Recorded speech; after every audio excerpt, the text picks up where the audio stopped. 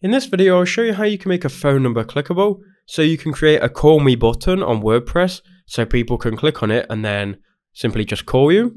So what you need to do is first find a page you want to put this button on.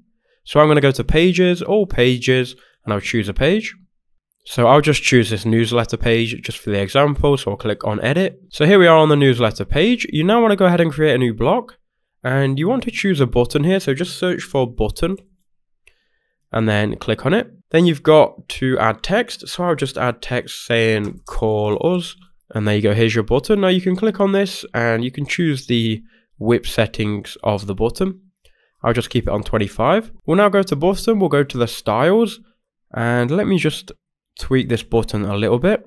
Okay, so now you want to click on the button, go to the link button here, type in TEL and then the two dots then go ahead and type in your number. Don't forget the area, area code. So I'll do plus four four. Just enter in a random number. I'm going to click enter.